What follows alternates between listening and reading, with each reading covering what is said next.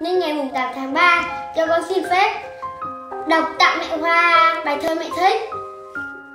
Con ơi mẹ chẳng cần chi, mong con ứng xử trong khi mẹ còn, cho đúng bổn phận làm con, là tấm gương sáng cho con con soi vào. Dù cho sức khỏe thế nào, già rồi cũng phải dựa vào con thôi, nuôi con chẳng nghĩa cho đời, chỉ mong nghe được những lời thân thương, cuộc đời vất vả trong đường, đắng cay mẹ chịu một nhiều phần con. Năm qua tháng lại mở mòn, ngược xuôi tần tảng nuôi con lớn dần, Ông ơi nước mắt trong gần, mẹ tràn ngập cả mọi phần nằm hiu. Giờ đây tuổi đã xế chiều, chỉ mong con nhớ những lời mẹ dặn, còn khi đã khuất núi non, chẳng cần con khắp nhìn non làm gì, chẳng cần quả bánh làm chi, rất cần thăm hỏi bởi vì cô đơn, ân cần tỏ tấm lòng son, như miếng trời đắng hai tay đón mời, nên quả phải giữ lấy lời, dù là cao quý hay đời con ơi.